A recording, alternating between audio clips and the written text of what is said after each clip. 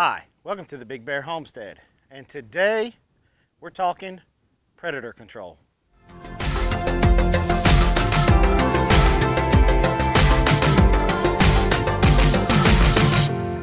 Hi, I'm Jason from the Big Bear Homestead. And if this is your first time here and you want to learn about everything homesteading, whether it's animal husbandry, gardening, predator control, canning, go ahead and hit that subscribe button and don't forget the bell. All right, well, today we're going to talk about predator control. Well, what is predator control and why do you need it being a homesteader? Well, we like to refer to predator control here on the Big Bear Homestead. We like to refer to it as the Voldemort of homesteading. Nobody likes to talk about it. It's the he who should not be named of homesteading. Predator, when you're dealing with predators and predator control, has to probably be about the ugliest thing in your whole homesteading lifestyle. Because let's be honest, when you're dealing with a predator, that means you're losing something. You're either losing eggs, chickens, calves, vegetables, fruits. You're losing something from a thief. And so over the next couple of videos, we're going to talk about how to deal with these predators on your homestead. Whether we're talking about food barriers, deterrence, trapping, all those things that we're going to talk about over the next couple of videos.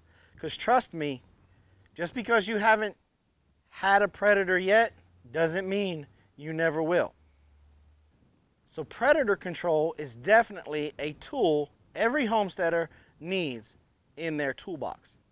Now, up in cards and at the end of this video, we're going to link some of our older predator control videos where we went in depth with certain predators like the possum, the raccoon, snakes, mice, raptors, coyotes, your canines, your cats.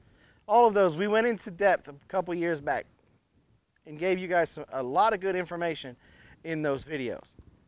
But in this next series that we're, we're gonna we're gonna kind of switch it around a little bit and we're gonna talk more about food barriers, deterrence.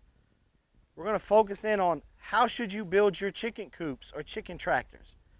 There's no such thing as a 100% proof, predator proof chicken coop or chicken tractor, but there are certain things that you can do that will deter predators from coming to your to try to get your eggs or your birds.